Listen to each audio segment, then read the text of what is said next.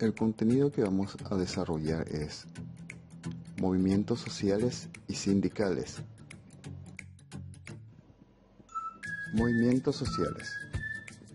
Los movimientos sociales son espacios de participación ciudadana, donde la sociedad se organiza y actúa colectivamente para lograr objetivos comunes, tales como mejorar las condiciones laborales y de vida, sobre denunciar el medio ambiente, desigualdades e injusticias. Los movimientos sociales son grupos de base organizados en torno a la defensa o promoción de una causa que, de manera coordinada, planificada y sostenida en el tiempo, pretende el cambio social. Características. Los movimientos sociales tienen características tales como identidad social, que se traduce en la conciencia de los intereses colectivos del acto. Permanencia, pues el movimiento social no puede confundirse con una protesta efímera. Objetivos específicos, reivindicativos o transformatorios. Movimientos obreros. Las reclamaciones de los trabajadores ante las duras condiciones de la vida que tenían que soportar aparecieron muy pronto, lo que dio origen al movimiento obrero. Este nació de manera clandestina porque los gobiernos prohibían que los trabajadores se asociaran. Movimiento sindical es la parte del movimiento obrero que se organiza mediante sindicatos una organización que reúne a los trabajadores a partir del trabajo que desempeñan, con el fin de defender sus intereses comunes ante los empleadores. Los movimientos sociales y sindicales en América.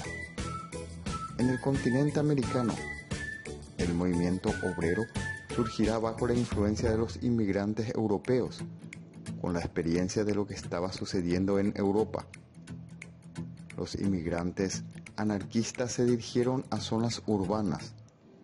Formaron los primeros movimientos obreros radicalmente opuestos. La lucha de los pueblos indígenas.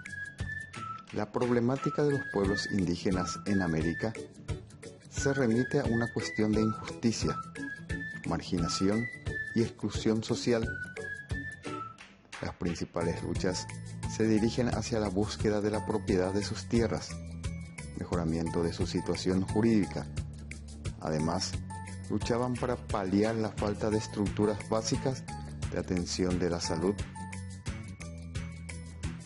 La lucha por la igualdad entre hombres y mujeres. Entre los movimientos sociales del siglo XX se destaca el feminismo, que defiende la igualdad de los derechos para las mujeres y la libertad de decidir sus modelos de vida, aunque como movimiento social propiamente dicho surge en el siglo XIX. A mediados del siglo XIX, en los países anglosajones surgen dos corrientes de movimientos feministas, una sufragista que reclama el voto para las mujeres y otra más radical que además del voto pedían cambios en el ámbito familiar y laboral. En 1920, la enmienda 19 de la Constitución de los Estados Unidos reconoció el derecho al voto sin discriminación de sexo. En América Latina, el sufragismo no tuvo la misma relevancia que en los países de Estados Unidos y Europa, reduciéndose en general la participación de sectores de élite